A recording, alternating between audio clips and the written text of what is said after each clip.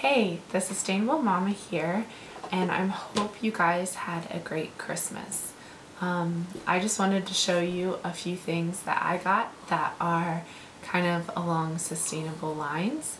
Um, I didn't end up doing like a how-to video today because if in your house, if it's anything like mine, I'm just kind of relaxing off of the hecticness of Christmas time and you know yesterday cooking and cleaning and doing all that kind of stuff.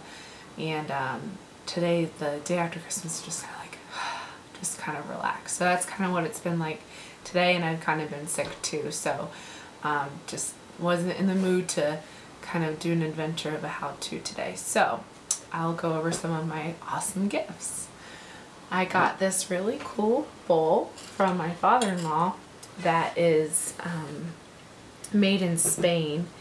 And uh, it's just really really neat looking and it's gonna make a great fruit bowl. So I just thought it was pretty. I thought you guys might think so too.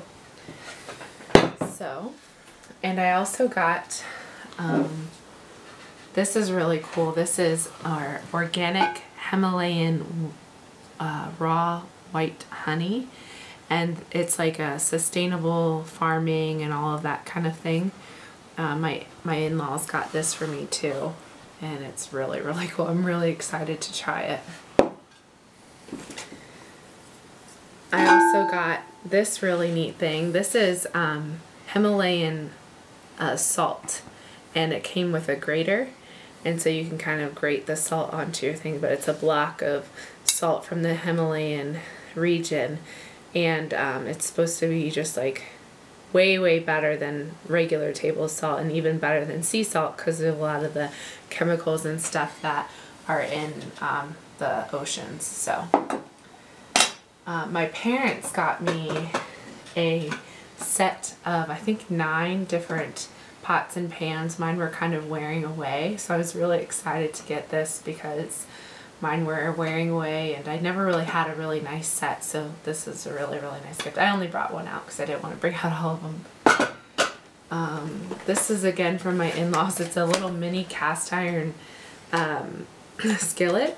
It's like a cornbread uh, mix but I'm just really really excited to have the cast iron skillet and I like almost cried when I opened it. it was just like a smaller gift and they didn't know like that I really want to have cast iron skillets um, and like different uh, cast iron products. And uh, I don't think anyone really knew. I don't think I've told anybody my desire to have cast iron. And so it was just really funny that um, I almost cried at such like a small gift to them but it was it was just kind of funny. So this one it looks like the mix was made in USA so that's that's always good to support American made products. I always try to support American made products as best as I can. This is a, a book I can't wait to start reading. It's Everything Root Cellaring book. Um, we actually have a port, the area under our porch here in this house, it's like an older home, is um, can be made into a root cellar. It's where I do keep my um, as you've seen in other videos, it's where I do keep a lot of my food storage items and stuff. So this will help me learn that and then learn how to better do that and do it correctly. And because I have noticed my potatoes are green and stuff like that. So, and then also for my future, for when doing it in the future. This is a home preserving book, so different recipes on jams, jellies, and that kind of thing. So I'm so excited to start reading that, and as I get more into canning to do some of these recipes, it should be really fun. This my husband got me and it's a complete guide to needlework. It's like an older book and it has um, stuff from all different kinds of needlework, crocheting, knitting, um, what is it, cross, cross stitch, quilting, all kinds of things. So I'm really excited to look at some patterns and um, hints in here to help me do better because I, I really am just beginning with a lot of that stuff. I've made a good amount of things, um, crocheting, uh, knitting and sewing, but um, I definitely have a lot to learn because I'm very much a beginner. And this is another awesome thing my husband got me. I like, I do have like a tiny little penny collection and uh, he recently learned about that. It was just like a random thing I did a while ago, and every now and again I like to open back up to it. And recently I've been getting into coins and understanding different worths, but this is a 1911 penny, so it's really cool. And he was looking up some things that happened in 1911, and that's the year that the Titanic um, first set sail.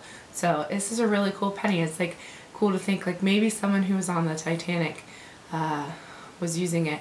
But question of the day, leave in the comments below. Did the Titanic sink on the very first time it set sail, or did it um, did it go like a few times before it sank? Because I'm hoping it went a few times that way. Maybe someone had this penny on the Titanic, but we didn't know. We were talking. Me and my husband were talking about it, and neither of us knew. So if you know, leave leave in the comments below. And this is a really really cool thing, and um, it's a little tiny needle or um, like sewing scissors. My husband got it for me at an antique store, but it's like a little crane.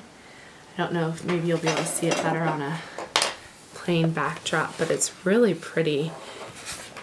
And then it opens up like this. It's just gorgeous. So that was a really nice gift that he got for me. Um, picked out himself and it's just really really pretty and I really like it. So those are a few a few of the things I got this Christmas. I got so much and I'm just so blessed and my son got so many great gifts and so did my husband and we're just so incredibly blessed with great family and friends and um, we're just we're just so happy that the Christmas season came and went and it was um, it was wonderful here in our house leave in the comments below how your Christmas went and and please let me know what uh, some of your favorite gifts are like what one or two of your favorite gifts or any one that was like more kind of on the sustainable or green living kind of um, spectrum so I hope you had a great Christmas and um, uh, I hope you have a great and happy and safe New Year's Eve and New Year's Day and I will see you next week. Thanks for watching.